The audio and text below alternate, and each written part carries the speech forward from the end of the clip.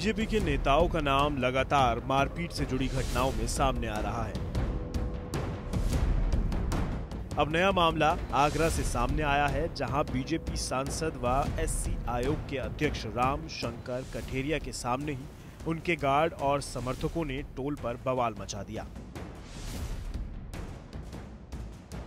दरअसल social media पर एक वीडियो वायरल हो रहा है, जिसमें देखा जा सकता है कि टोल पर बीजेपी सांसद के गार्ड और समर्थक कर्मचारियों से मारपीट कर रहे हैं। जानकारी के अनुसार बीजेपी सांसद के काफिले को रोकने के बाद टोल पर कर्मचारियों से बहस हो गई, जिसके बाद सांसद कठेरिया के गार्ड्स ने टोल कर्मियों की पिटाई कर दी। पूरा वाकया सीसीटीवी में कैद हो गया। इस पूरी घटना के दौरान बीजेपी सांसद भी वहीं मौजूद थे।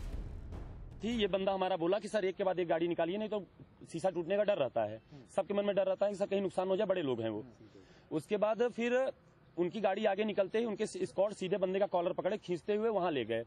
मेरी दिन की ड्यूटी है मैं सो रहा था कंटेनर में। मैं मैनेजर साहब राजेश गायके जी।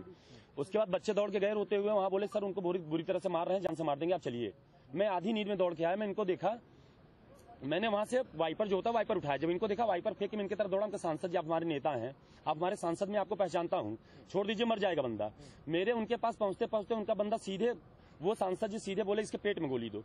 से खबर चल रही है कि आपके सुरक्षा कर्मी ने चल रहा है खून मिला था तो मारपीट की अरे कितनी वो सच्चाई है सुरक्षा कर्मी नहीं की उन लोगों ने डंडा लेकर के ये नहीं समझा कि मेरी गाड़ी है।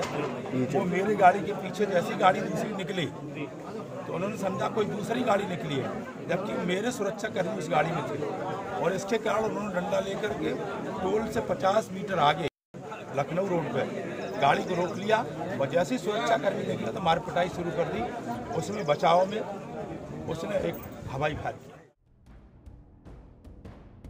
आपको बता दें कि हाल के दिनों में नेताओं के ज़रिए मारपीट किए जाने के कई मामले सामने आए हैं।